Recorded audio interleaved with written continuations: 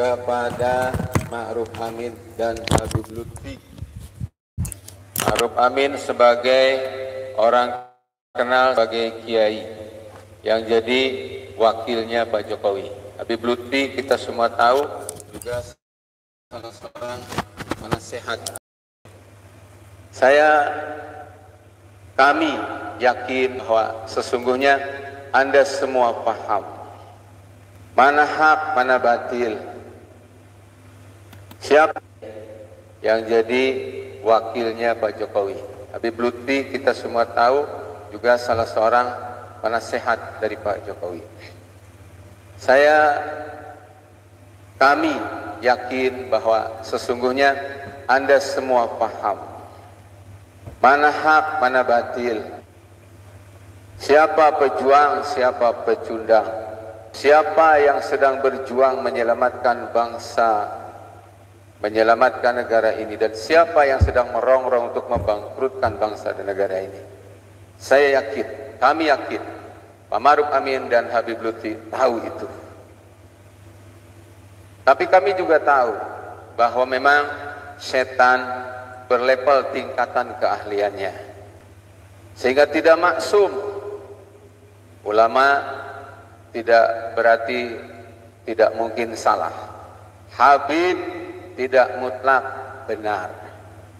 Dan dalam posisi ini kami sangat meyakini diamnya Pak Maruf Amin dan Habib Lutfi adalah sebuah kepura-puraan dan kebohongan. Membiarkan kemungkaran. Itu artinya apa? Meridoi kemungkaran terjadi. Membiarkan rejim ini menangkap para ulama, mengkriminalisasi, bahkan bukan para ulama, syariat Islamnya pun dikriminalisasi. Maka kemungkaran yang lebih berat mana lagi selain daripada ini. Wahai Pak Maruf Amin, wahai Habib Lutfi, bersikaplah, tegas, ingatlah usia kalian sudah rentang. Demi Allah, ajal mengintai kalian berdua. Wahai rejim, sadarlah bahwa kalian semua akan mati. Kejahatan kalian untuk mengkriminalisasi para ulama yang lurus itu sama dengan mengkriminalisasi Rasulullah karena Rasul bersabda al ulama warasatul anbiya. Setelah para nabi para rasul ini sudah tidak ada, maka tugas para nabi dan rasul itu dilanjutkan oleh para ulama. Dengan demikian, kalian berbuat jahat, berbuat keji terhadap para ulama, artinya kalian jahat kepada Rasulullah. Takbir.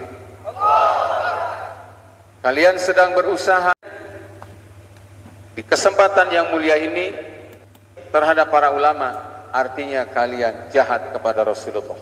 Takbir. Kalian sedang berusaha untuk mematikan citra baik para ulama, artinya apa?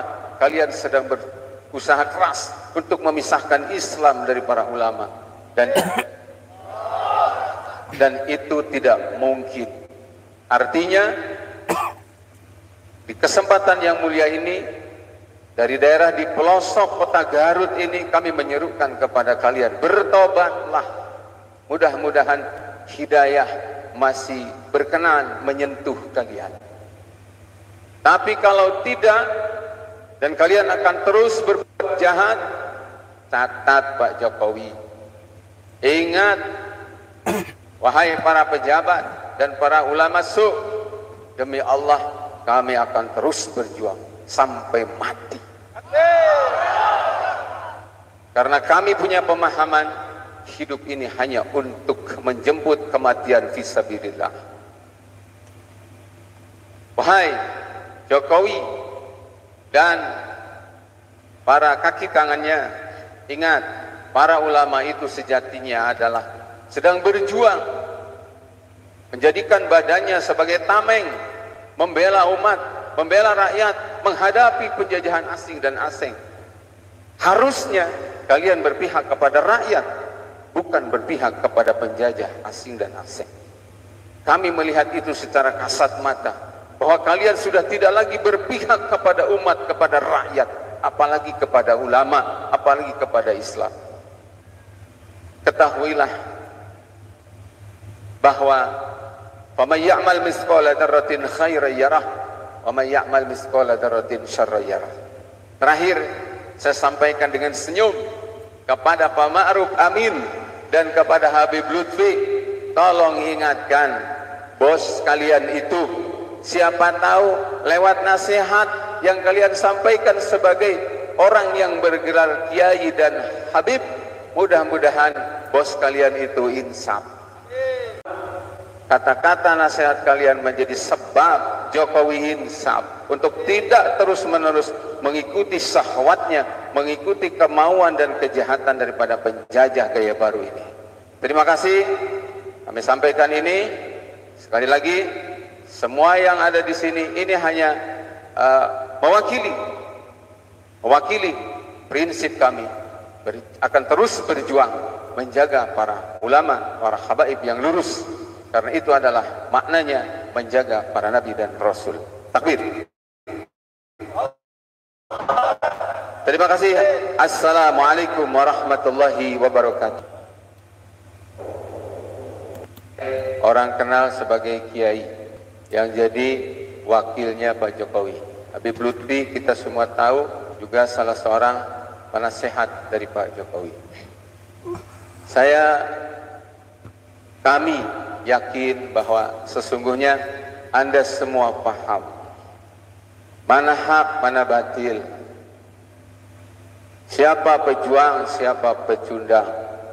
Siapa yang sedang berjuang menyelamatkan bangsa menyelamatkan negara ini dan siapa yang sedang merongrong untuk membangkrutkan bangsa dan negara ini. Saya yakin, kami yakin, Pak Maruf Amin dan Habib Lutfi tahu itu. Tapi kami juga tahu bahwa memang setan berlevel tingkatan keahliannya. Sehingga tidak maksum. Ulama tidak berarti tidak mungkin salah. Habib tidak mutlak benar. Dan dalam posisi ini kami sangat meyakini diamnya Pak Maruf Amin dan Habib Lutfi adalah sebuah kepura-puraan dan kebohongan. Membiarkan kemungkaran. Itu artinya apa? Meridoi kemungkaran terjadi. Membiarkan rejim ini menangkap para ulama, mengkriminalisasi bahkan bukan para ulama, syariat Islamnya pun dikriminalisasi. Maka kemungkaran yang lebih berat mana lagi selain daripada Wahai Pak Maruf Amin Wahai Habib Lutfi Bersikaplah Tegas Ingatlah usia kalian sudah rendah Demi Allah Ajal mengintai kalian berdua Wahai rejim Sadarlah bahwa kalian semua akan mati. Kejahatan kalian untuk mengkriminalisasi para ulama yang lurus itu sama dengan mengkriminalisasi Rasulullah karena Rasul bersabda al ulama warasatul anbiya. Setelah para nabi para rasul ini sudah tidak ada, maka tugas para nabi dan rasul itu dilanjutkan oleh para ulama. Dengan demikian, kalian berbuat jahat berbuat keji terhadap para ulama, ya kalian jahat kepada Rasulullah. Takbir. Kalian sedang berusaha untuk mematikan citra baik para ulama. Artinya apa? Kalian sedang berusaha keras untuk memisahkan Islam dari para ulama. Dan dan itu tidak mungkin. Artinya di kesempatan yang mulia ini dari daerah di pelosok kota Garut ini kami menyerukan kepada kalian bertobatlah. Mudah-mudahan hidayah masih berkenan menyentuh kalian. Tapi kalau tidak dan kalian akan terus berbuat jahat, catat Pak Jokowi.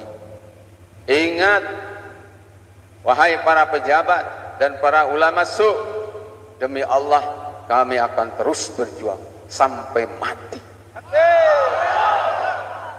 Karena kami punya pemahaman hidup ini hanya untuk menjemput kematian visabilillah.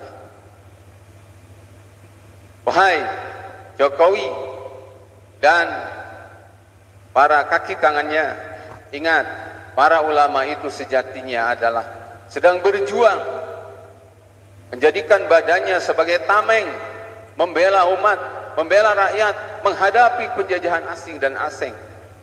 Harusnya kalian berpihak kepada rakyat, bukan berpihak kepada penjajah asing dan asing. Kami melihat itu secara kasat mata, bahwa kalian sudah tidak lagi berpihak kepada um kepada rakyat, apalagi kepada ulama, apalagi kepada Islam. Ketahuilah bahwa "Faman ya'mal mithqala dzarratin khairan yarah, wa man ya'mal dzarratin syarran yarah." Terakhir, saya sampaikan dengan senyum kepada Pak Ma'ruf Amin dan kepada Habib Lutfi tolong ingatkan bos kalian itu siapa tahu lewat nasihat yang kalian sampaikan sebagai orang yang bergelar kiai dan habib mudah-mudahan bos kalian itu insaf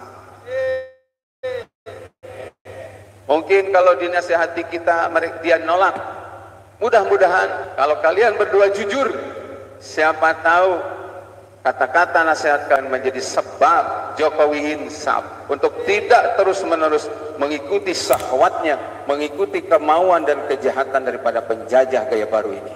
Terima kasih. Kami sampaikan ini sekali lagi semua yang ada di sini ini hanya uh, mewakili mewakili prinsip kami akan terus berjuang menjaga para ulama, para habaib yang lurus karena itu adalah maknanya menjaga para nabi dan rasul. Takbir. Terima kasih. Assalamualaikum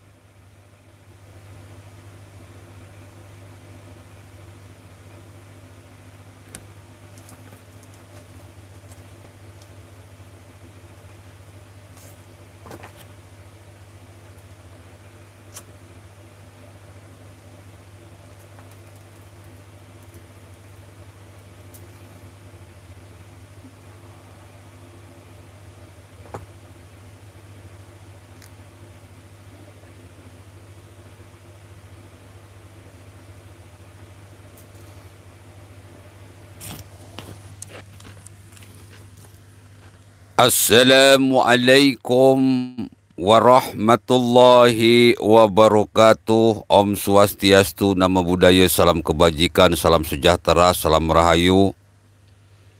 Kembali lagi bersama Gus A dalam channel Tanda Tanya Politik Semakin Gila Semakin Asik.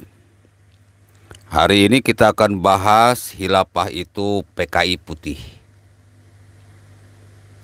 Barusan saya tayangkan satu buah video yang beredar di beranda saya. Dan sekarang ada video lanjutan. Kayaknya live streaming Gus A ini sudah menjadi perhatian yang sangat serius. Yang sudah membuat mereka kelepek-kelepek. Yang sudah mereka sekarat. Yang sudah membuat mereka terdesak bahkan tersedak. Ya kalau mereka berani tinggal saya tantang debat live on TV. Kita buktikan siapa bajingan, siapa pahlawan. Saya tidak pernah takut dengan ulama-ulama brengsek seperti itu. Memang kali-kali harus dibungkam.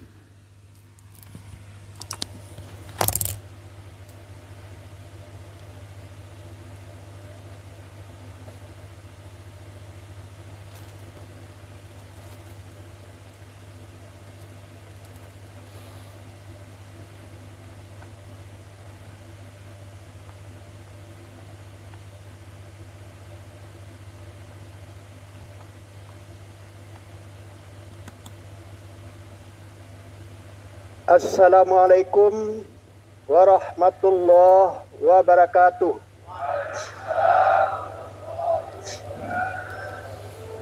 Mari bersama-sama kita berniat semoga Allah menyampaikan cita-cita dari pernyataan sikap kita pada hari ini.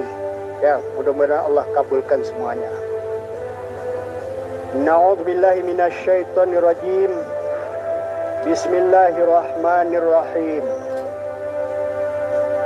Pernyataan sikap Forum Komunikasi Ulama Tokoh Aktivis Minangkabau tentang tolak undang-undang dan pindah ibu kota negara atau IKN.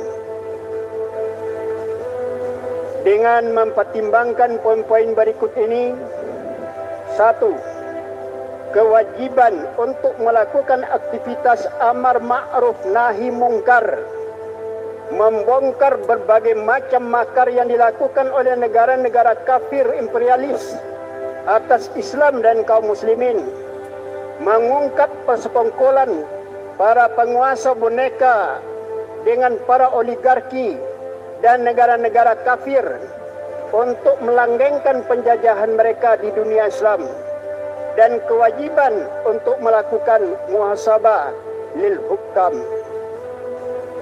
Kedua, keputusan untuk memindahkan ibu kota negara atau IKN dari DKI Jakarta ke Provinsi Kalimantan Timur yang ditopang dengan undang-undang IKN tidak layak untuk diimplementasikan karena beberapa alasan sebagai berikut. Satu, pemindahan ibu kota negara akan sangat membebani APBN dalam jangka panjang sehingga yang akan dirugikan adalah rakyat. Kedua, pemindahan ibu kota negara akan semakin merusak ekologi Kalimantan Timur yang saat ini sudah sangat parah akibat kegiatan penambangan, perkebunan, dan industri kayu. Ketiga, secara geologis terdapat banyak kelemahan untuk menjadikan wilayah penajam pasir utara sebagai ibu kota negara sehingga biaya akan menelan anggaran pendapatan belanja negara lebih besar jika dilanjutkan. Keempat, pemindahan ibu kota negara merupakan proyek yang syarat dengan kepentingan para pemilik modal. Kelima, pelibatan pihak asing dalam pembangunan ibu kota negara akan merugikan Indonesia bukan hanya dari aspek ekonomi namun juga akan menghilangkan kedaulatan negara. Ketiga, syariat Islam telah menegaskan tentang larangan kaum muslimin dikuasai dan didominasi oleh orang-orang kafir. Larangan menciptakan mudarat dan keharaman membiayai anggaran belanja negara dengan utang ribawi maka kami para ulama tokoh aktivitas Minangkabau menyatakan satu menolak pindah ibu kota negara yang jelas-jelas zalim dan ditengarai oleh dan ditengarai merupakan bagian dari skenario asing untuk menguasai negeri ini. Kedua, menuntut pemerintah untuk menghentikan dan menghapus praktik sistem sekuler kapitalisme demokrasi yang menjadi akar suburnya tatanan oligarki atau persekongkolan dan politisi. Oligark mencari rente diduga kuat mendapatkan paling banyak keuntungan ibu bertumbuhnya korupsi secara sistematis dan lahirnya para pemimpin yang meminggirkan peran agama dalam kehidupan publik. Ketiga, mengajak seluruh komponen masyarakat untuk bersama-sama memperjuangkan syariat Islam secara kafah dalam naungan khilafah sebagai kewajiban syar'i dan solusi mendasar untuk menggantikan penerapan sistem sekuler kapitalisme dem demokrasi yang menjadi akar masalah negeri ini. Bukit Tinggi tanggal 27 Jumadil Akhir 1443 Hijriah bersamaan dengan 29 Januari 2022 Masehi. Wassalamualaikum warahmatullahi wabarakatuh.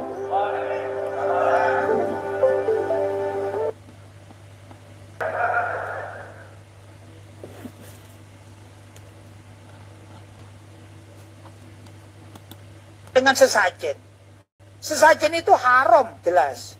Malah menurut uh, kitabnya Kiai Soleh Darat, Kiai Soleh Darat itu adalah gurunya Mbah Hashim Ash'ari.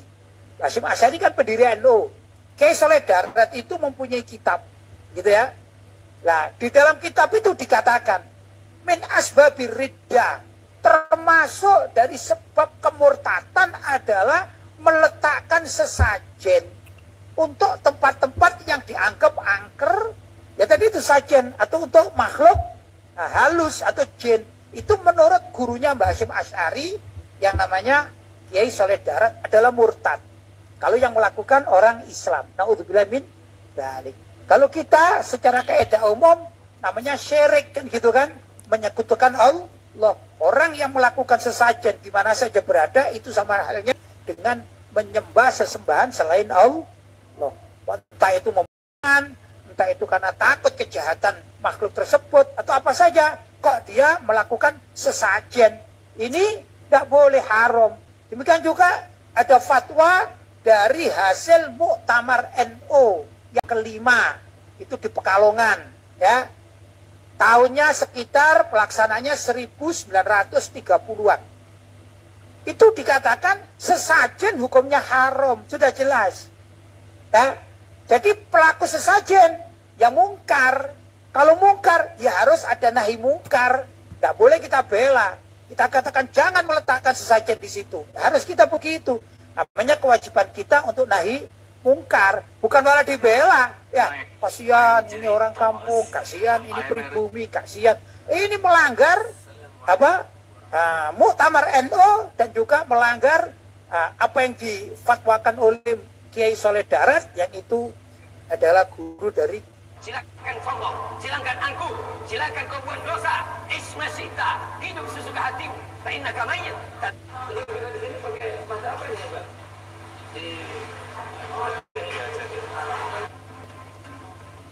Bismillahirrahmanirrahim.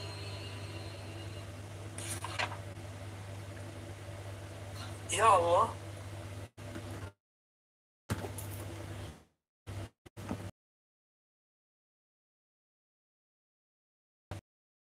Berapa ya? Saya yakin komunis tidak akan ada di Indonesia. Yakin ya? Saya yakin, seyakin-yakinnya. Hanya orang yang punya motivasi tertentu aja yang akan menggiring opini ke sana. Ya.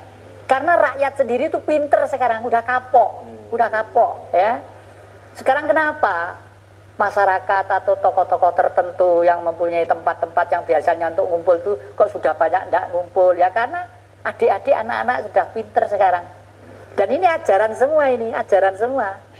Semar itu dibuat bokongnya gede perutnya gede. Artinya apa? Dan ininya rembes. Bumi itu selamanya yang hidup adalah manusia. Diisi oleh manusia karena bumi itu adalah perwujudan Allah, Allah Allah yang berwujud menjadi alam. Mau membuat kerajaan di sini ada, mau cari mas-masan berlian di sini, di bumi semua, tidak di angkasa. Ya, jadi harus kerja keras, kerja. Kan saya nggak sengaja main ke rumah ya dianggap sesepuh lah yang di salah satu desa. Mm beliau-beliau begitu yang bercerita cerita beliau juga mengatakan begini sesok itu bakal ono presiden kurang Cina tapi umurnya di, sebentar hmm. cuma seumur jagung hmm. nah setelah ada presiden dari keturunan Cina baru muncul yang namanya uh, ratu kembar nah ratu kembar itu adanya di Ketonggo sama Mama Madura. Hmm, hmm. Terus selanjutnya yang baru ada yang munculnya Ratu Adela. Hmm. Tanggapan dari yang jadi dengan cerita saya itu bagaimana? Ya mudah-mudahan orang sepuh tadi benar ya, Oh, karena memang proses terjadinya peralihan situasi politik dan sistem itu tidak segampang itu. Itu mungkin memang proses-proses pengisian ya. Seperti pada waktu kebetulan kayak Pak Pak Pak ya, Pak Habibie itu kan menjabatnya sebentar ya. Iya, Pak Habibie itu sebentar gitu ya. Itu semacam jadi keharusan karena hitungan saya eh, hitungan saya malah ini nanti umpama betul-betul ada raja Hmm. raja itu adalah raja eh, Prabu Brawijaya yang ke-9 Yes. sebagai Notonegoro yang kelima kenapa Bri, Brawijaya yang ke-9 seorang raja di Nusantara harus mempunyai wahyu. Meskipun presiden presiden itu juga punya wahyu. Nggak punya wahyu nggak mungkin jadi presiden. Siapa pun ya. Tapi wahyu itu wahyu yang di mana bagaimana ya. Terus Notonegoro itu karena pimpinan bangsa di Nusantara Indonesia ini atau Indonesia ini pasti mempunyai sistem visi dan misi yang jelas. Ya. visi dan misi yang jelas. Dan visi dan misinya itu sistem politik itu dan ngatur semua kehidupan, baik kehidupan binatang, kehidupan manusia, kehidupan para dewa atau para gaib itu ya, atau kehidupan gendruwo-gendruwo itu, itu sudah ada di Mahabharata sama Ramayana, Dik. Itu sistem politik dan kitab suci dua itu. Ramayana dan Mahabharata itu kitab suci. Itu tidak dari India, dari kita, dari kita. Itu Kidung Agung dari lembah Gunung Arjuna, ya. Terus bawa ke sana, ke sana, kembali ke sana, ke sana setelah setelah Atlantik tenggelam, laut ke permukaan, Yes. lalu eh, Exodus menyelamatkan diri dipimpin seorang Brahmana. Naik ke Gunung Arjuna mencari tempat yang tinggi supaya tidak kena dampak ombak goro-goro tadi itu ya. Nah, setelah itu lalu turun lagi itu mendirikan itu rakyatnya harus seperti Arjuna halus, nggak seperti nggak pencilaan ya, kalem, ning digdaya, digdaya. Buktinya apa? Arjuna itu ceritanya itu panjang di pewayangan tuh. Itu menggambarkan manusia Indonesia harus seganteng Arjuna, sebagus Arjuna, sesakti Arjuna, sehebat Arjuna. Makanya diikuti Punokawan tiga, Semar, Gareng, Petro, Ya. ya empat bagong itu sudah zaman baru yang asli tidak ada dulu sampai sampai Petro aja. Dan ini ajaran semua ini ajaran semua. Semar itu dibuat bokongnya gede perutnya gede. Artinya apa? Dan ininya rembes. Bumi itu selamanya yang hidup adalah manusia. Diisi oleh manusia. Karena bumi itu adalah perwujudan Allah Allah Allah yang berwujud menjadi alam. Mau membuat kerajaan di sini ada. Mau cari mas-masan berlian di sini. Di bumi semua tidak di angkasa. Ya jadi harus kerja keras kerja keras. Yang cerdas gitu ya. Terus Arjuna seperti itu. Makanya digambarkan kalau eh, mau ada mau ada apa? Arjuna itu kalau sudah mau ada itu pasti ada adegan itu sowan ke Eyang Abioso yang Abioso itu ada leluhurnya orang-orang Astina dan Pandawa tadi itu. Iya, iya. Artinya jangan melupakan advis-advis para leluhur kita atau orang-orang bijak-bijak atau orang-orang suci-suci itu. Ya kiai kayak ya pastor kayak ya pendeta kayak ya brahmana kayak itu artinya ya kalau sekarang gitu. Nah, terus demokrasinya dan rakyatnya itu harus kembar seperti Nakulo dan Dewa. Apa sih? Hiruk pikuknya MPR itu tuh apa? Hiruk pikuknya DPR itu apa? Hiruk pikuknya pemilihan umum itu untuk apa? Hiruk pikuknya presiden itu untuk apa? Pilihan gubernur untuk apa? Untuk supaya rakyat tentrem ayem damai gemah ripah loh jinawe kan itu tujuannya. Iya, iya. nah kalau sampai nyimpang terus gini kan namanya amburadul ya gitu Oh tadi yang berbicara masalah leluhur ah. Eh, manfaat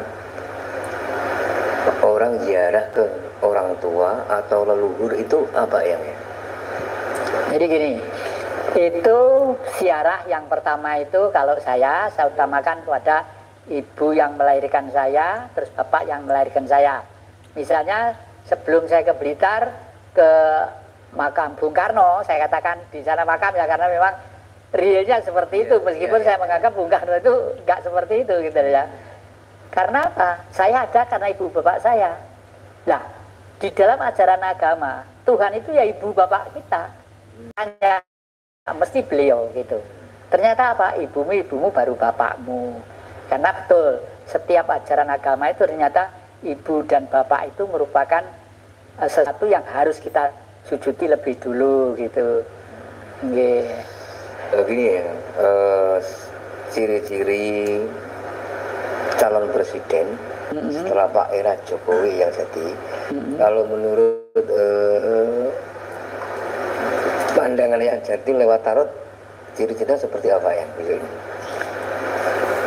Eh, kalau itu mestinya andai kata saya li- lihat dengan tarot, Oke, itu saya sudah mempunyai gambaran alternatif foto-foto gitu ya. Terus saya buka satu-satu. Tapi selama ini belum. Belum, ya.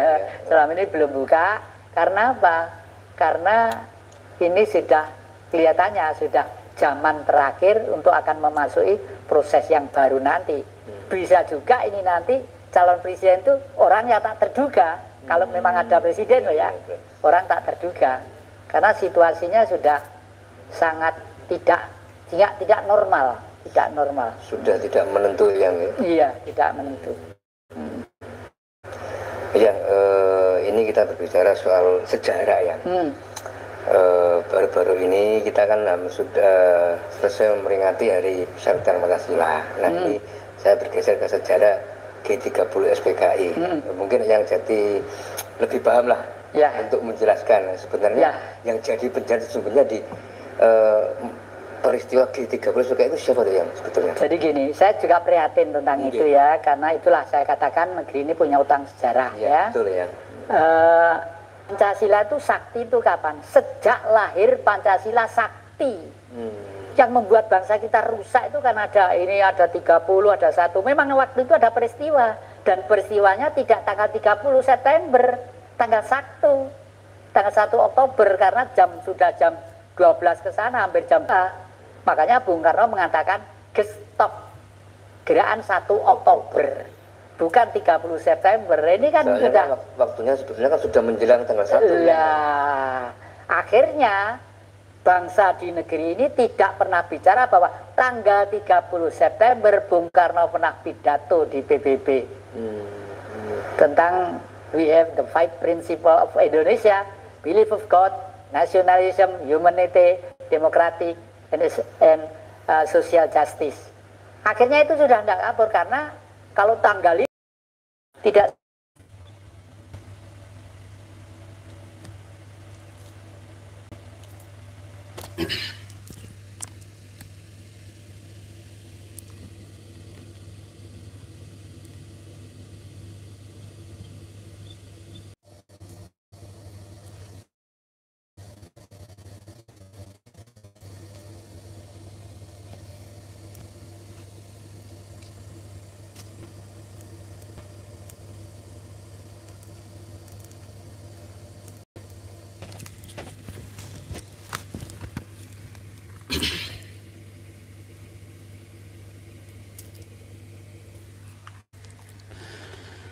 Bapak-bapak, ibu-ibu hadirin pemuda-pemudi sebangsa setanah air di mana pun Semakin lama mereka semakin berani. Semakin lama mereka semakin unjuk gigi. Semakin lama mereka semakin tidak waras. Semakin lama mereka semakin brutal, semakin beringas, semakin tidak punya etika Penampilannya kayak Islam, kelakuannya kayak setan. Penampilannya kayak ulama, kelakuannya kayak iblis. Kenapa ini bisa terjadi?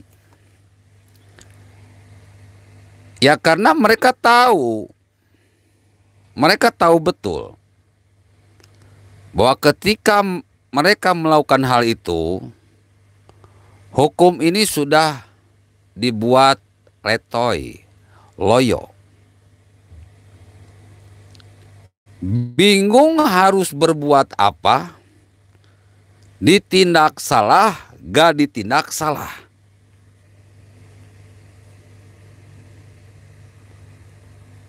Karena mereka selalu ngancem-ngancem atas nama agama. Makanya saya selalu berulang kali katakan, tidak ada cara lain. Ajak mereka debat live on TV. Mana yang lebih baik Pancasila atau khilafah? Khilafah atau Pancasila? Mereka itu sudah jelas mengagung-agungkan khilafah di mana pun mereka berada. Dan selalu menjelek-jelekan Pancasila di mana pun mereka berada.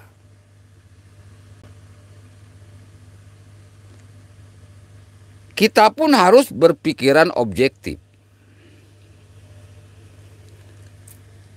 Harus mengadakan pengajian Pancasila sambil membahas hilafah itu apa sih? Kalau ada dua arah yang bergerak, maka nanti pemerintah punya kesimpulan.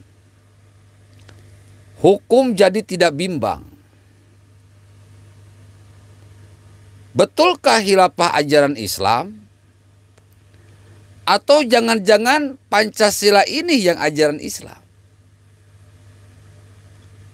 Kalau Pancasila ajaran Islam, oke, seperti apa? Alasannya apa? Dalilnya apa?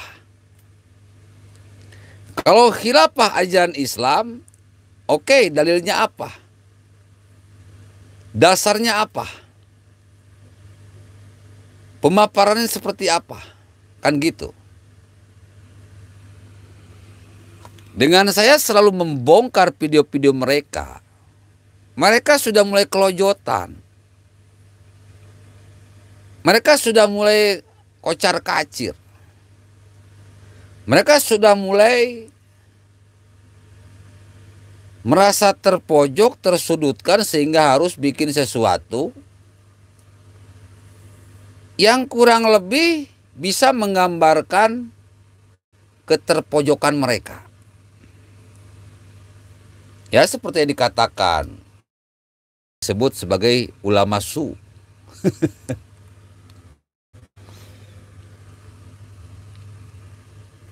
kan lucu, Bro.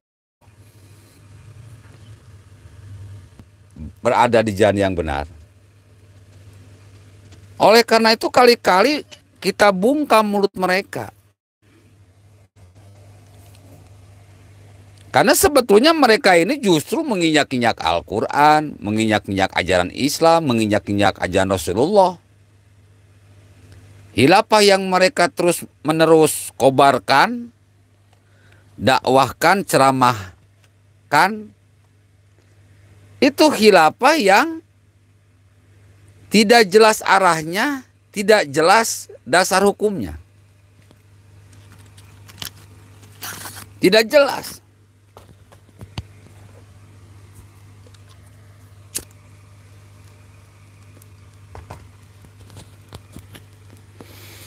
Kalau saya gampang-gampang saja.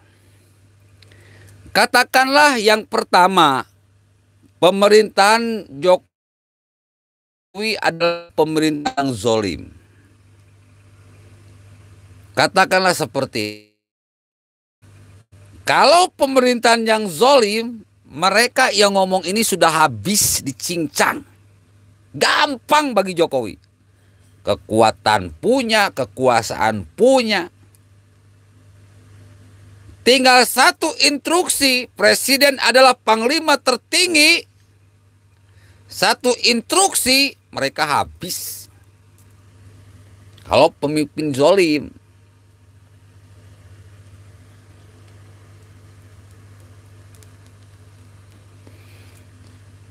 Gak ada tuh Ustadz Somad dakwah di mana-mana dengan bebas memprovokasi pemerintah, menjelek-jelekan pemerintah memprovokasi umat. Kalau pemerintahan Jokowi zolim, udah habis tuh orang.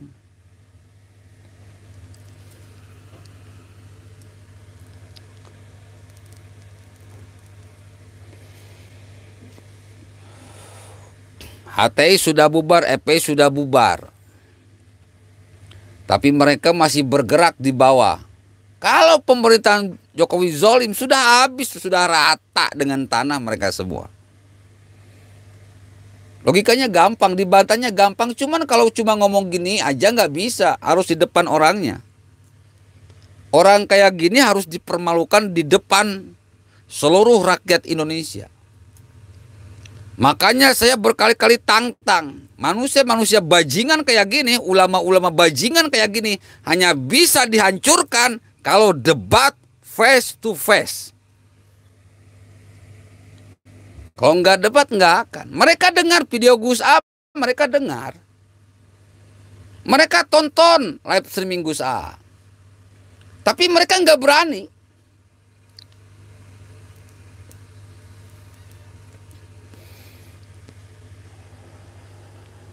Mereka nggak berani. Kenapa? Takut.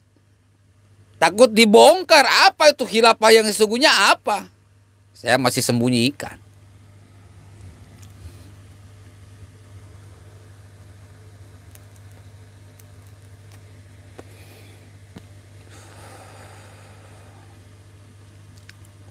Jokowi pemerintahan yang zolim. Yang zolim gak akan bangun Trans Sumatera. Pemerintahan yang zolim itu gak akan bangun jalan Trans Sumatera. Udah aja pinjam uang bagi-bagi sama kroni-kroni beres. Tapi pemerintahan yang kayak gitu, yang pinjam uang negara bagi-bagi sama kroni, Ulama-ulama brengsek kayak tadi tidak pernah mereka berkicau.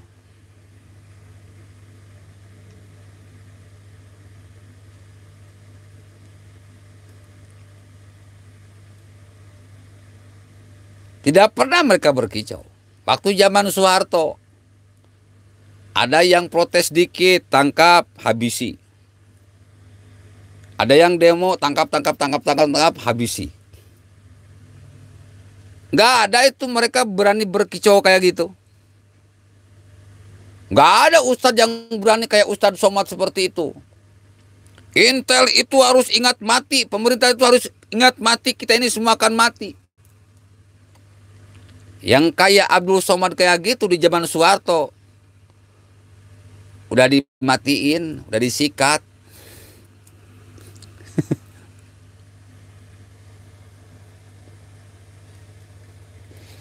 Menuduh pemerintahan Jokowi zolim kan aneh bro.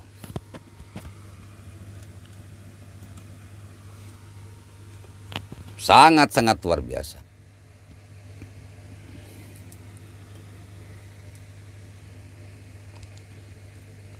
Dua, Jokowi melakukan kriminalisasi ulama.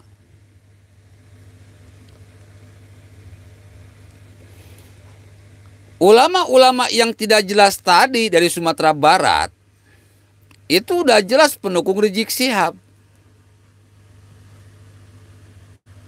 Udah jelas pendukung Rizik Sihab.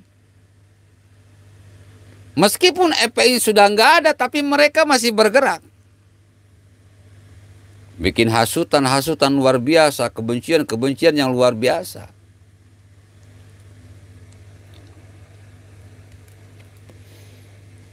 Sudah jelas Rizik siap terlibat terorisme. Masih saja teriak kriminalisasi ulama. Bukti sudah ada, saksi sudah ada, tangan kanan Rizik siap bunar boy sedang diproses hukum. Bentar lagi Rizik siap pun diproses hukum. Masih teriak-teriak kriminalisasi ulama. Siapa yang kriminal? Siapa yang jahat? Rizik Sihab. Untung ketahuan, kalau nggak ketahuan habis Indonesia.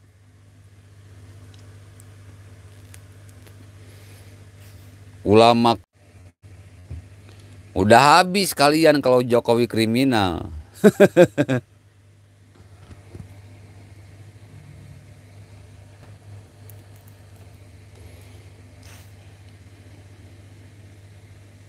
Banyak saksi, banyak bukti FPI mengirimkan anggotanya untuk gabung dengan ISIS. Masa yang gini bukan disebut kriminal? Wong kriminal udah jelas. Tapi saya ngomong kayak gini kalau tidak di depan orangnya nggak berguna juga.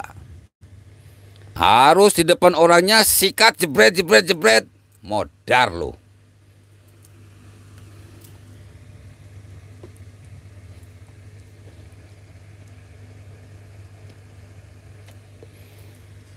Jokowi antek asing dan asing.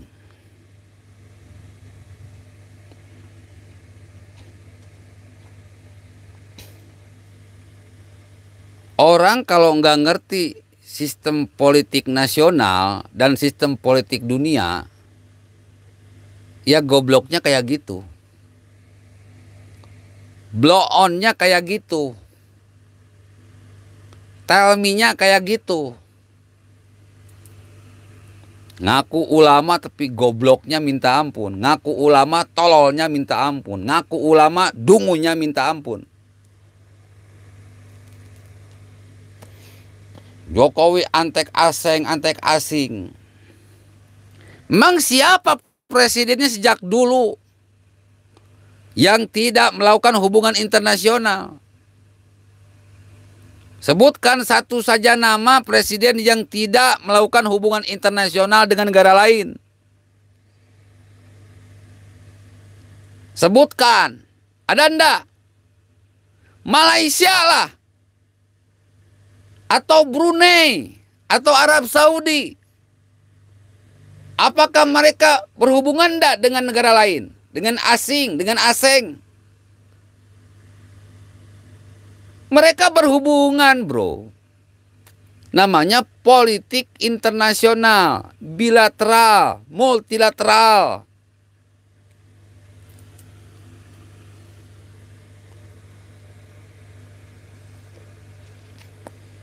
Blow on ditelan sendiri. Antek asing, antek asing. Kalau ente hei ulama-ulama kadrun, ulama-ulama blow on, antek asing, antek asing mulai sekarang jangan pakai handphone. Karena itu produk asing. Jangan pakai laptop. Itu produk asing. Jangan pakai internet. Itu produk asing. Jangan beli motor, jangan pakai motor. Itu produk asing. Jangan pakai mobil, itu produk produk asing. Jangan dirikan bangunan, karena bahan-bahannya juga dari asing.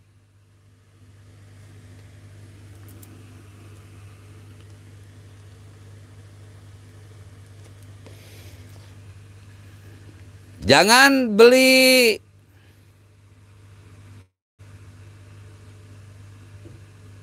Jualan online. Kebanyakan itu produk asing.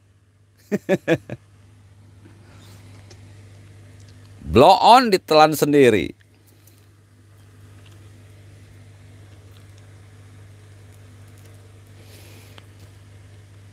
Jokowi raja hutang.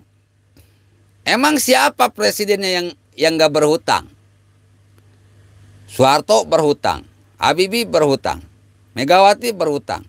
Gus Dur berhutang. SBY berhutang. Siapa presiden yang gak berhutang?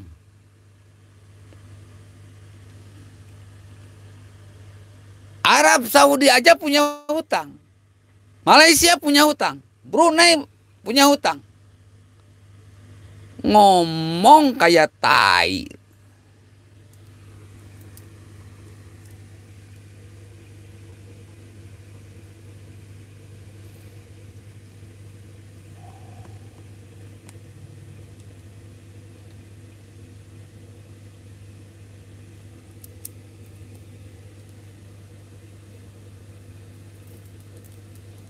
Tegakkan syariat Islam. Tegakkan hilafah. Hilafah dengan syariat Islam beda, dodol. Hilafah, hilafah, syariat Islam, syariat Islam.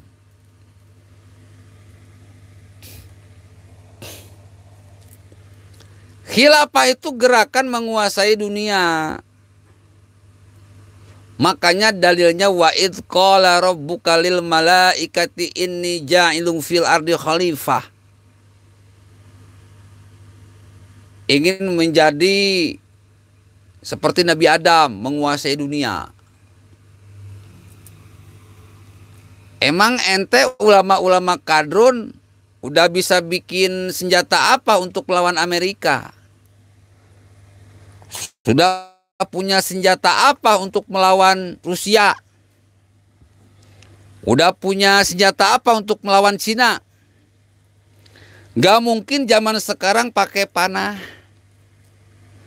Gak mungkin zaman sekarang perang pakai pedang. Gak mungkin zaman sekarang pakai dukun. Udah gak berlaku sekarang. Coba lihat kemarin bro. Hampir-hampiran saja terjadi perang yang sangat mengerikan.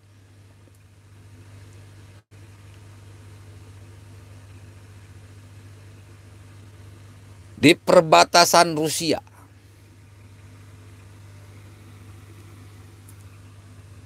Lihat senjata-senjata Rusia yang dikeluarkan. 150 ribu kekuatan perang diturunkan itu baru permulaan. Rusia punya 3 juta tentara yang siap diturunkan. Alat-alat canggih dikeluarkan sampai puluhan ribu alat-alat canggih dikeluarkan.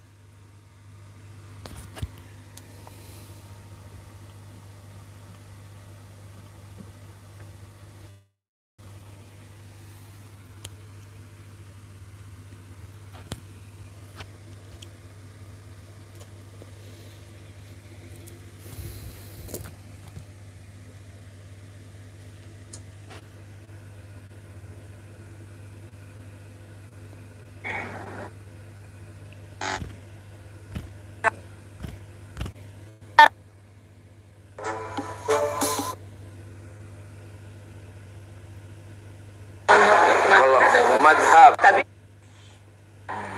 Ah, yang sedang berlaku di India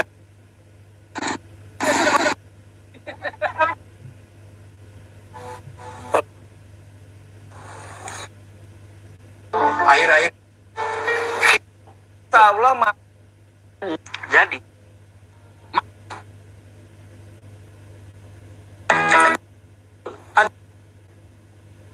untuk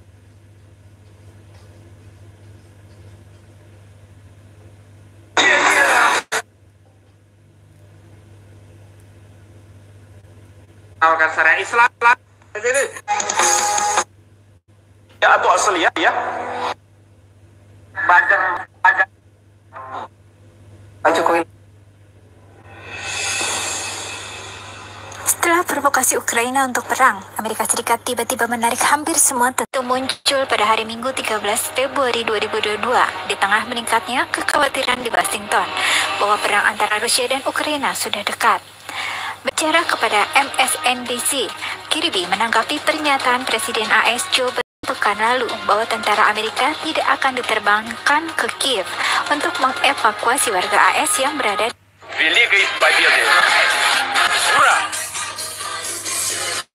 Presiden Amerika Serikat Joe Biden berkata pada Presiden Rusia Vladimir Putin bahwa Barat akan menanggapi setiap invasi Rusia dengan tegas. Sebanyak 8.500 tentara AS telah disiagakan untuk kemungkinan penempatan ke Eropa Timur jika pasukan Rusia berkumpul di perbatasan Ukraina, juru bicara Pentagon John Kirby mengatakan Senin. Menteri Pertahanan AS Lloyd Austin mengeluarkan persiapan untuk menyebarkan perintah atas arahan Presiden Joe Biden, langkah terbaru yang telah diambil AS untuk mempersiapkan kemungkinan invasi Rusia ke Ukraina. Yang telah diperingatkan oleh para pejabat akan segera terjadi.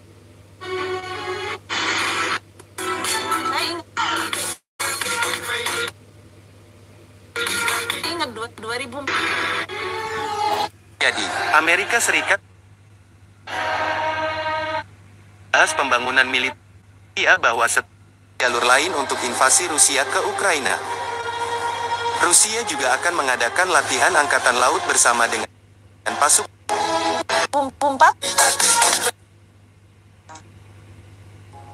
Alila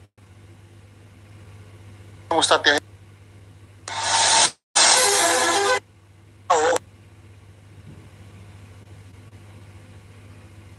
Gua punya di sono. Waluni yang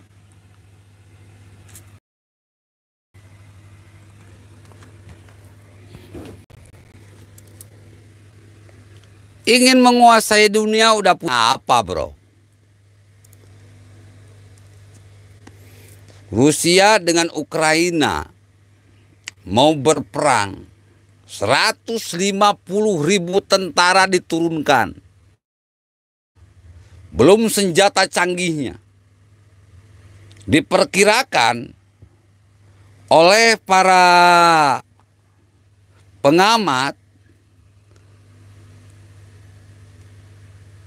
Ukraina paling cuma bertahan satu hari. Udah dikepung di berbagai sisi, Mas Bro.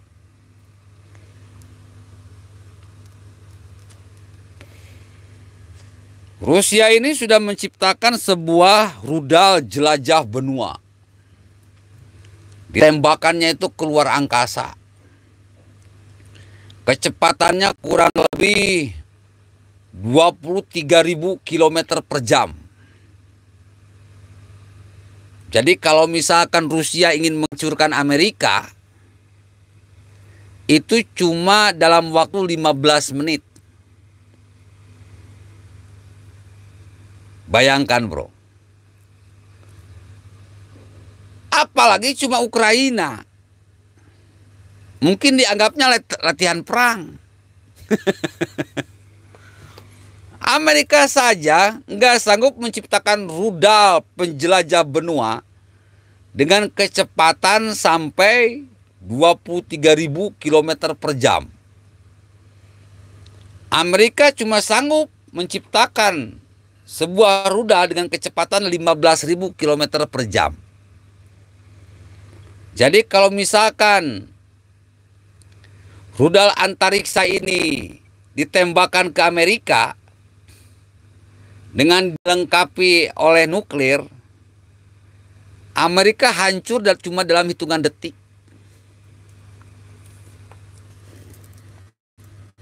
Kenapa? Karena rudal ini sangat canggih. bisa dikontrol di markas bisa hindari dan dengan kecepatan 23.000 km per jam sudah tidak ada satupun rudal yang bisa menghancurkan saking cepatnya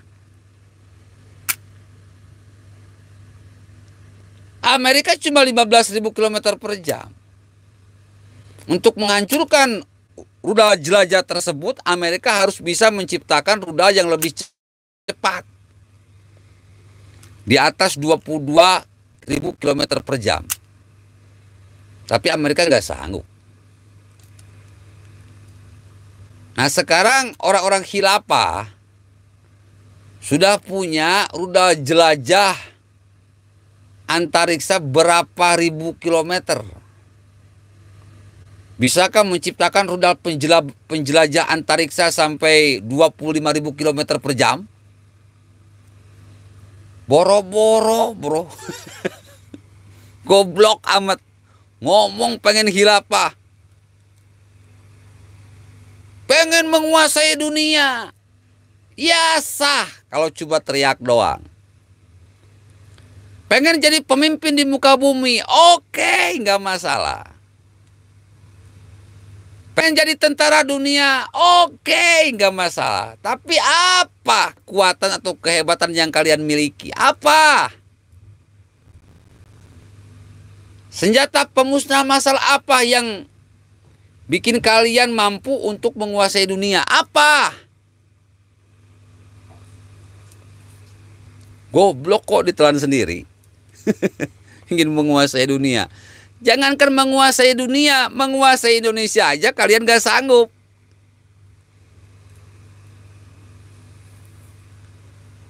Untuk menjadi orang yang berakhlak mulia aja kalian gak sanggup. Bagaimana ingin menguasai dunia? Zaman udah beda. Kalau ingin menguasai dunia harus bisa mengalahkan Amerika. Kalau ingin menguasai dunia harus bisa mengalahkan Rusia. Kalau ingin menguasai dunia harus mengalahkan Cina. Rusia pengen menghancurkan Indonesia gampang. Tembakan saja rudal penjelajah antariksanya. Lima biji cukup lah. Indonesia tidak akan bisa melakukan perlawanan dengan gerilya. Seperti kayak dulu gerilya nggak akan bisa bro. Wong yang namanya bom nuklir itu waduh. Tidak hanya bangunan yang hancur, anginnya itu waduh. Mengandung bahan kimia yang merusak, merusak badan. Mau lari ke mana?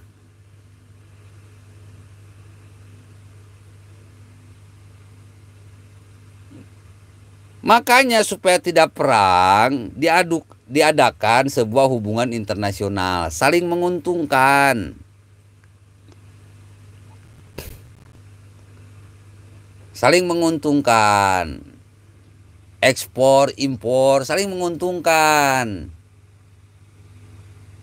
Bukan antek asing, antek asing, saling menguntungkan.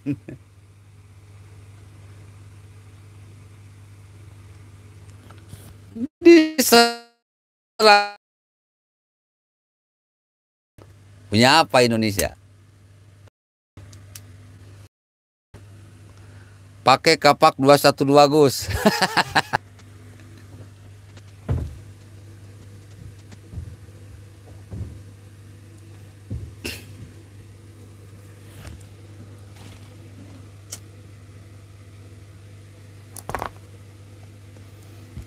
Kita itu kan terikat perjanjian, kesepakatan dengan luar negeri memberantas semua aksi terorisme.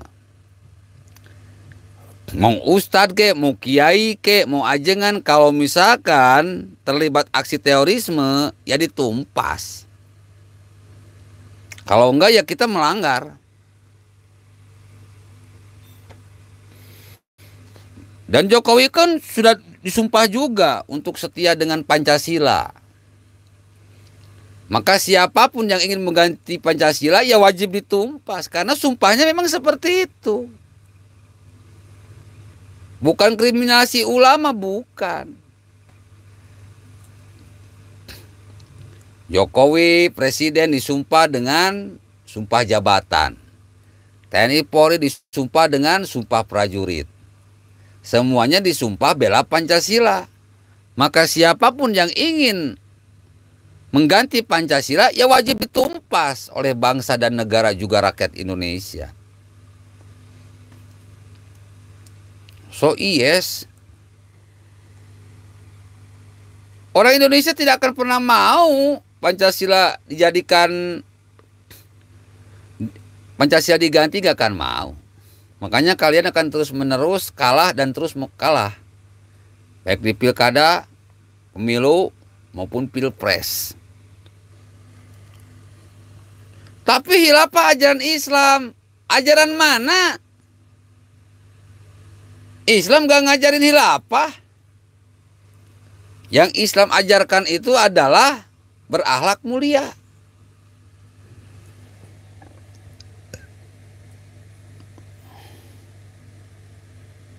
Makanya saya kadang-kadang suka tertawa gitu. Melihat orang-orang yang begitu apa ya begitu terhipnotis bahwa hilafah akan bangkit karena sekarang sudah masuk akhir zaman.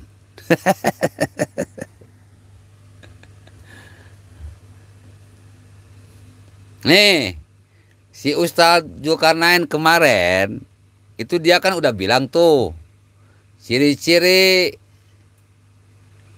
kemunculan Dajjal satu datangnya Al-Dukhon meteor menghantam bumi itu Al-Dukhon setelah itu muncul Dajjal Nah sekarang Al-Duhon aja belum ada, udah teriak-teriak Imam Mahdi.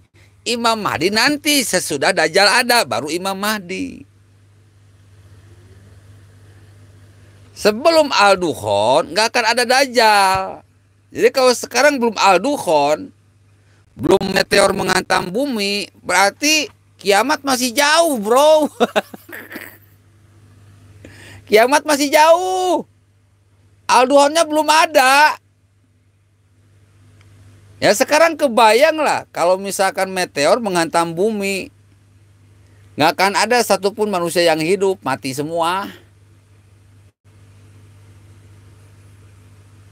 Seperti zaman dinosaurus. Musnah itu karena meteor. Menghantam bumi, mati semua.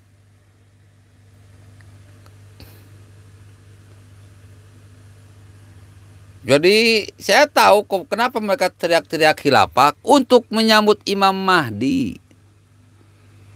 Ingin melakukan gerakan pembebasan Palestina. Ke sana arahnya kok. Bukan semata-mata ingin menegakkan syariat Islam, bukan.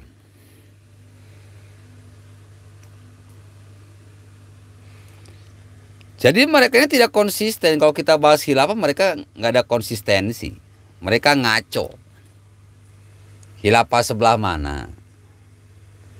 Makanya pada kesempatan ini saya katakan khilafah itu PKI putih. Kenapa? Karena pergerakannya sama dengan PKI. PKI ingin ganti Pancasila, khilafah pun ingin ganti Pancasila. Sama pergerakannya. Strateginya sama. Makanya kalau PKI merah diberikan tap MPR, harusnya PKI putih pun diberikan tap MPR juga. Karena dua-duanya sangat berbahaya ingin mengganti Pancasila. Ketua HTI itu berkali-kali ditanya bro.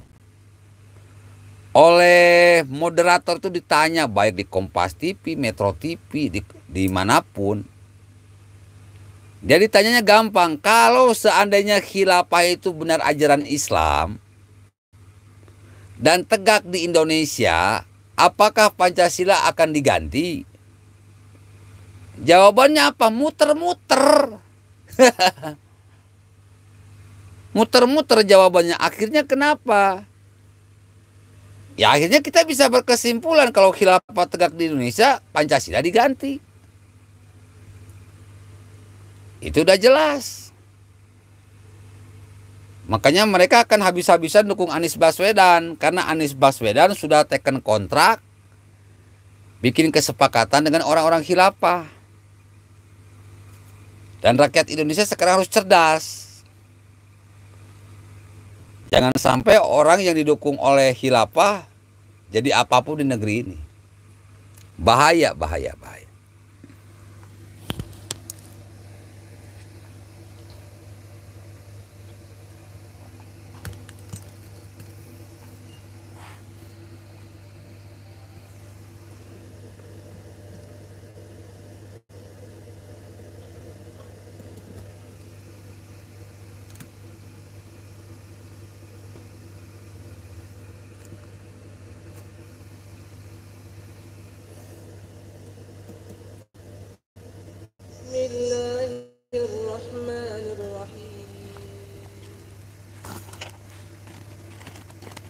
Ya Allah, aku menghadap kepadamu bersama nabimu. Nah, itu. Mintanya ke siapa? Allah. Mau nabinya hidup, nabinya mati sama nggak? Sama sebenarnya. Mintanya ke siapa? Ya Allah. Ini nggak minta ke nabi kan? Tuh. Lurus nggak nih akidahnya Sufi, akidahnya Asya? Hari. Ya maturity nggak ada masalah. Lalu dipanggil ya Muhammad. Nah, di satu riwayat cuma Muhammad tanpa ya. Barangkali Syekh Albani beranggapan itu hidup karena ada ya-nya. Tapi kayaknya dalam fasilitasnya itu nggak pakai ya Muhammad. Muhammad. Ini atawassalu ini atawajjahu bika ila rabbi. Aku aku datang bersamamu kepada Allah Subhanahu wa taala, maka berilah aku syafaat. Mana nggak kalimat hidup dan mati di situ? Itu semua istinbat, hasil ijtihad, hasil penggalian. Bisa saja orang sepakat, bisa tidak. Masalahnya antum ijtihad, imam antum ijtihad, terus dianggap itu paling benar. Itu kesalahan apa?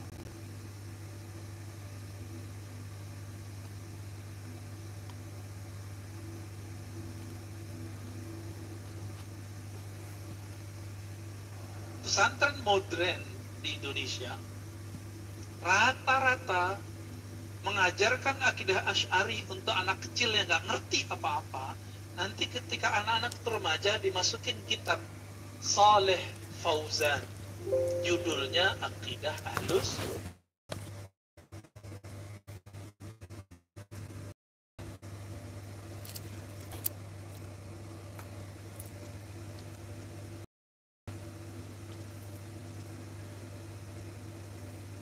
tawasul musyrik.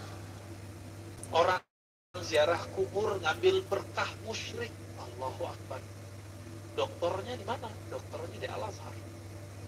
Tapi karena basic akidahnya sudah terpengaruh oleh kitab Saleh Fauzan, ini zombie-zombie ini muncul mbak nanti menghalalkan darah kita nanti. Saya nggak mau sebut deh pesantrennya. Semoga para kiai, mohon maaf para kiai, tolong perhatikan kitab yang antum ajarkan di pesantren Jangan cuma karena ingin dapat biaya dari negeri-negeri sana, kemudian ganti akidah dan itu membahayakan anak-anak kita nanti generasi depan. Kalau memang begitu dibiarkan, benarlah kata guru kami, nanti itu Ar-Razi yang bunuh muslim itu kalian muslim cuma karena paham dikit penggal beda paham dikit bunuh. Bahaya nih ya. Kalau kita nggak luruskan nanti bisa bahaya.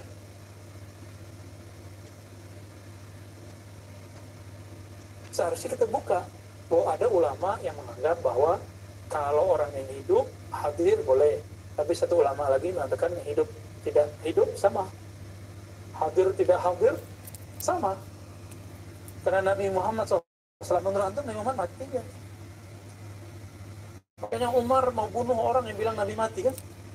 Karena bagi Umar, beliau kasyaf. Beliau kasyaf. Allah buka mata hatinya dan beliau tidak melihat Nabi mati. Beliau masih hidup di dalam dirinya, dalam hatinya. Beliau masih melihat Nabi seakan-akan masih jalan dalam dalam hari-hariannya. Ya, Sayyidina Umar Al-Faruq. Nah, Bismillahirrahmanirrahim. Alhamdulillahirabbil alamin. Wassalatu wassalamu ala asyrafil anbiya wal mursalin nabiyina Muhammadin wa ala alihi wa sahbihi ajma'in. Nah, ini di antara uh, kebiasaan kisah atau hawa kan dia tidak bacakan selengkapnya. Jadi tentang kisah wafatnya Nabi SAW. Kalau siapa saudara Dr. Ar-Razi bertanya, apakah Nabi sudah mati? Ya, saya jawab iya. Beliau Wasallam sudah wafat, ya, alias mati. Ya. Siapa yang ngomong seperti itu? Allah Subhanahu Wa Taala yang sebutkan demikian. Demikian pula dalam hadis Aisyah radhiyallahu taala anha. Sekarang kita baca bagaimana hadis Aisyah ummul mukminin ibunda kita radhiyallahu taala anha yang diriwayatkan oleh Imam Al-Bukhari rahimahullah taala tentang kisah wafatnya Nabi sallallahu alaihi wasallam dan bagaimana uh, sikap Umar bin Khattab radhiyallahu taala anhu. Nanti kita lihat. Benarkah Umar kasyaf ya? Atau bagaimana sebenarnya? Kita bacakan kata beliau radhiyallahu taala anha anna Rasulullah sallallahu alaihi wasallam mata wa Abu Bakrin bisunhi sesungguhnya Rasulullah Wasallam mata coba lihat mata mati wafat. Ya ibunda kita yang ngomong seperti itu. Ya. sedangkan Abu Bakar berada di as-sunh as-sunh ini uh, apa namanya nama tempat. Ya nama satu tempat uh, yang itu merupakan tempat uh, Bani Al Harith ya, Bani Al Harith dari kalangan sahabat dari kaum Al-Khazraj. Nah, ini tempatnya di Awali di Madinah sana. Teman-teman yang pernah di Madinah ya tahu daerah ini, Awali. Nah, itu agak beberapa kilo ya dari Masjid Nabawi. Nah, Masya Allah Ta'ala. Baik, kita lanjutkan. Jadi Abu Bakar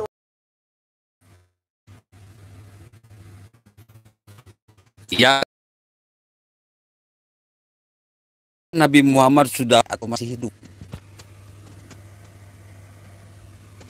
Bayangkan bro, yang kayak gini saja bisa ribut. Padahal kan logikanya sederhana. Kalau mau menganggap sudah mati silahkan ada dalilnya. Menganggap sudah hidup juga silahkan ada dalilnya. Tinggal pilih yang mau mana, yang mana tinggal pilih gitu. Ini enggak ribut. Jangankan ngurus negara, bro. Ngurus perbedaan di Islam aja sampai ribut. Kebayang kalau Islam jadi negara, wah yang sini angkat senjata, yang ini angkat senjata, bantu tempur. Aduh.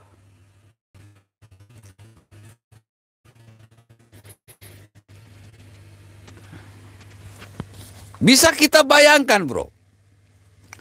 Ada 72 golongan dalam Islam. Perbedaannya sangat nampak. Yang satu merasa benar, yang ini merasa benar, yang ini angkat senjata, yang ini angkat senjata, perang, iya.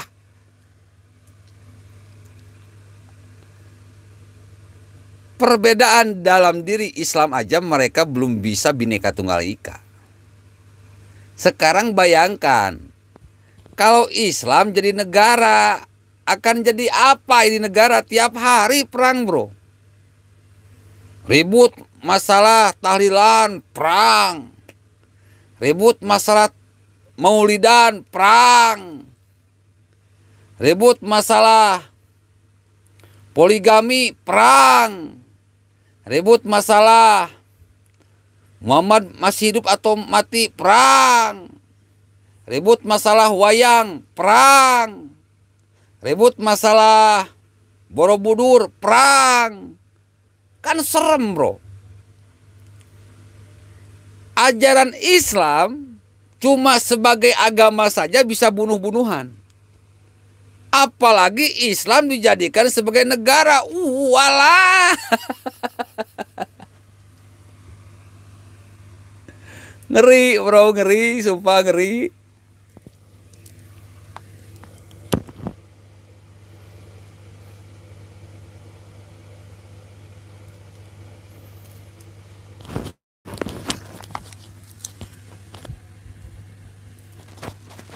Makanya jadilah kalian Islam moderat.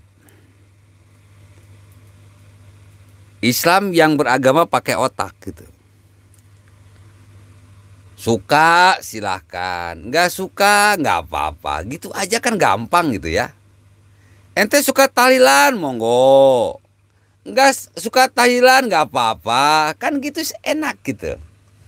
Nggak perlu ribut gitu, nggak perlu merasa paling benar.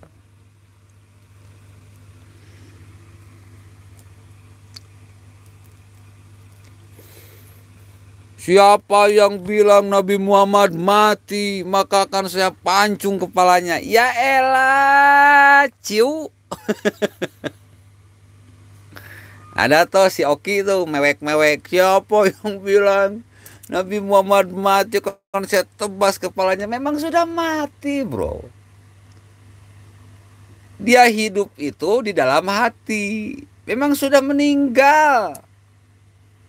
Kan dikatakan sebelum Nabi Muhammad meninggal dunia berpesan kepada para sahabat, ummati, ummati, ummati. Cuman secara zohir masih hidup di hati seluruh umat Islam.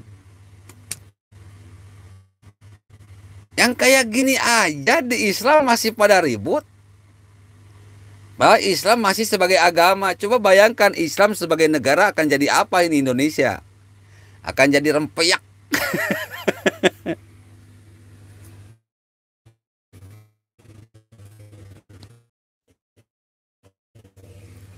Merah artinya nasionalis. Nasionalis Pancasila. Jadi merah itu Pancasila. Putih agama. Arti merah putih ada dua. Pancasilais religius, religius Pancasilais. Itu arti merah putih. Kenapa? Untuk menghindarkan keributan yang sering terjadi dalam Islam. Yang religius harus Pancasilais. Yang Pancasilais harus religius. Yang religius harus Pancasilais kenapa? Biar tidak jadi teroris. Yang Pancasilais harus religius kenapa? Supaya tidak jadi komunis. Makanya merah putih. Religius Pancasilais, Pancasilais religius.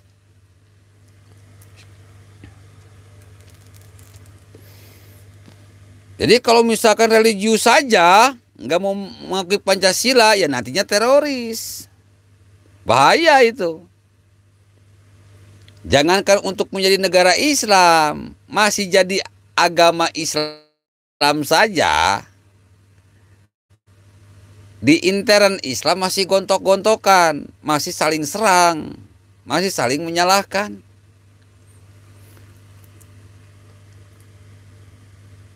Apalagi kalau jadi negara. Bisa hancur-hancuran di negara. Jadi hilafah ini bahaya bro. Bahaya hilafah ini. Persis seperti PKI. Hilafah itu kelompok religius yang anti Pancasila. Itu hilafah. Kalau misalkan PKI nasionalis yang anti agama. Beti lah, beda-beda tipis lah. Apa? Itu paling religius, merasa paling agamais. Dan dia pasti anti Pancasila. PKI itu nasionalis, tapi anti agama.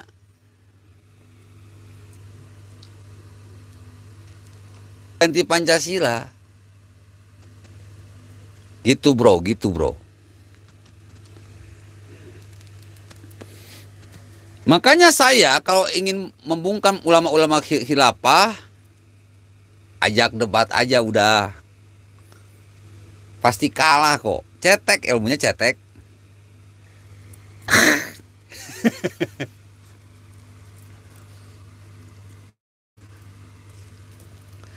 Mereka itu cuma ngandelin fanatik doang, cuma fanatik doang. Seperti tadi Ustaz ngancam tuh. Hei pemerintah, ingat hidup ini sebentar kalian semua akan mati. Heeh, aing nyaho. Jadi kalau khilafah sudah terdesak biasanya teriak-teriak masalah mati. Kalau enggak masalah mati, masalah siksa kubur. Kalau enggak masalah siksa kubur, masalah kiamat, dajjal, akhir zaman, pasti ke sana. Nah untuk menghantam orang-orang kayak gini ya harus dengan orang yang ngerti lagi. Kalau nggak ngerti ya repot. Dengan orang-orang yang bisa membungkam orang-orang hilafah. Dan negara harus mau. Karena kalau dibiarkan bahaya, mereka semakin berani. Kalau dibiarkan bahaya bro. Nah sekarang kita akan jelaskan hilafah itu apa ajaran Islam itu apa sih? Islam itu